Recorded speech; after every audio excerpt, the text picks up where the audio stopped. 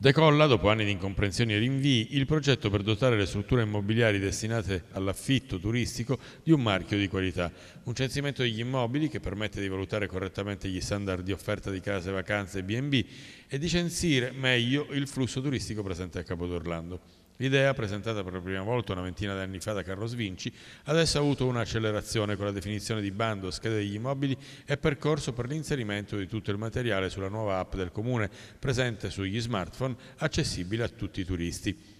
Regolamentare e censire gli immobili che risponderanno ai requisiti igienici e strutturali fondamentali per le destinazioni all'affitto turistico, creando un marchio di qualità per garantire al fruitore dell'appartamento la sicurezza di un ottimo rapporto qualità-prezzo ed interrompere definitivamente quegli affitti selvaggi che macchiano l'immagine della città.